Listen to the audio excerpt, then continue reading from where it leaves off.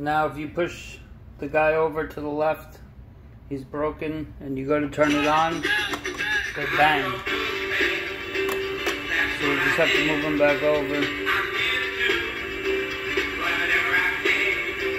The one on the left doesn't wobble side to side with his arms, but he spins in circles like he's supposed to.